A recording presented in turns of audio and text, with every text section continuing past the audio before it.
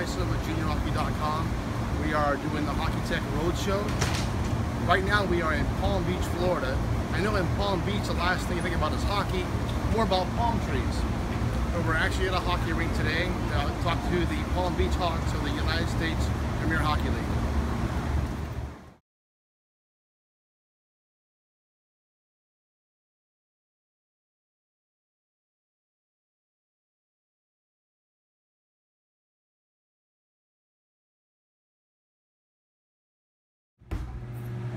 Like any locker room, the junior level, the boys are a bit messy. Well, this is the Palm Beach Hawks locker room.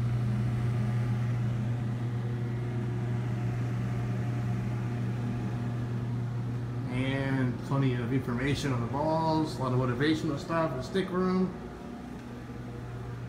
showers, let's not go in there.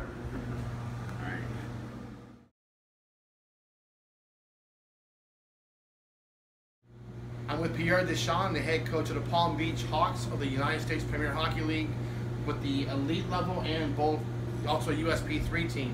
Pierre, how long have you been on Palm Beach so far? I moved here two years ago. I came from uh, Boulder area. I was coach from the WSHL and uh, I decided to uh, have an agreement to buy the team.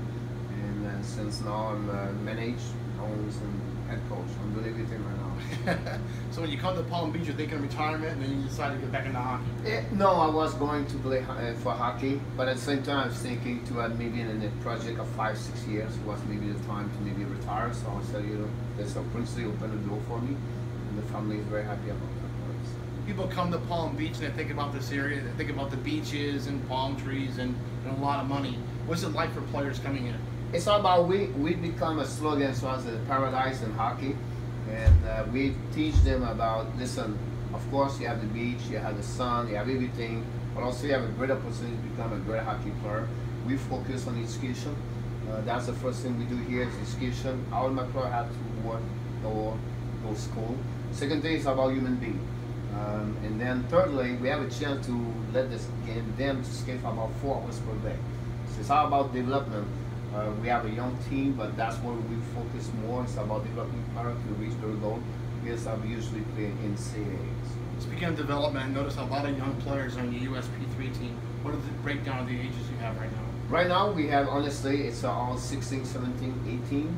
We have one or two and 19, and that's pretty much We don't have nobody from 20 years old. It was the purpose of this. Second thing, it was about invite, reach more players from Florida. That was our first thing we need to know to give them a hope to play consistently play hockey when they reach their after the midget uh, hockey. So they have an opportunity to play hockey here, and we are really lucky to have a great uh, hockey player here. Coming from Quebec and then into, the Western States Hockey League, you saw all the Europeans. Right now in Palm Beach, I believe in Florida, there was a one player that was drafted out of Florida so far. So yes, so what we have a chance, like you said, I'm, I'm coming from Quebec, so I have an opportunity to reach more people and uh, we have four, five players from Quebec Park. Two of them play for Halifax Montreal. There's something that people ask them why they come here. But again, it's to give back, give them an opportunity to learn English. First of all, second thing to have maybe a chance to play in CA and to reach their goals. And uh, we are really proud to have that that opportunity for them to come here. Excellent. What to build that that kind of dynasty and a great teams this year? We're looking for goalie one goalie and then uh, forward. We have uh, you know 12, 10 more spots open right now, and hopefully we can reach half of them at the end of the year and uh, finish with 40. Was my goal when I came here. Nobody have uh, the last six years no mm, never happened to have 40 player here, so this was my goal. I'm still too short, but I really believe what we're doing is different to any place. We want to reach this number. You're off to a good start. Thank you.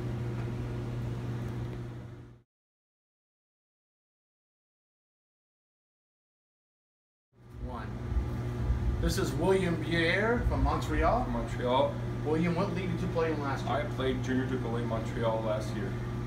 And what made you decide to come to Palm Beach? Uh, I went to a showcase in Boston uh, last May, and uh, I talked to Frenchie. He uh, he watched me play, and he told me that uh, it was like a, a, great league here in Palm Beach, and I like to play like in the sun and always like wear shorts and flip flops. You wake up in the morning, there's no question you wear flip flops and uh, shorts and uh, I think it's a really good experience to come here uh, to become like uh, become uh, a better person and a better hockey player. And how's your English coming along?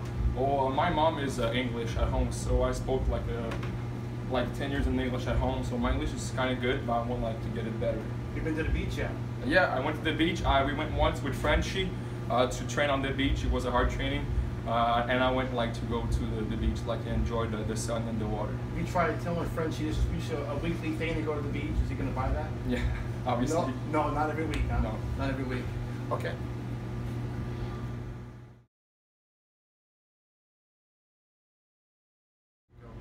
I'm with Matthias Weir. He's a forward. Matthias, what team were you with last year? Uh, I played here for the Hawks Empire team. Before that, you were with the Western States Hockey League? in the- Yeah. The El Paso Rhinos. Yes, sir. Very good. So, what do you like about being in Palm Beach compared to El Paso? Uh, it's a lot nicer, honestly. Uh, it's nice to just be able to go to the beach whenever you want, honestly. Uh, the weather's amazing. And it never rain, rarely rains. So, what is your goals for col- for hockey? You want to go to college? Yeah, uh, my goal is to get to at least NCAA D3. Very good. Yeah. Do you have any schools in mind you're thinking about? Um, I'm not really. I'm just. I need to start looking this year. 'cause- Very good. With all the showcases that the USPHL goes to, you're going to be seen by a lot of college coaches. So they're going to ask you questions like, "What do you want to do after after hockey?" So, what kind of career goals do you have? Um, I, I just want to go to college, honestly, get a good education, get a good job.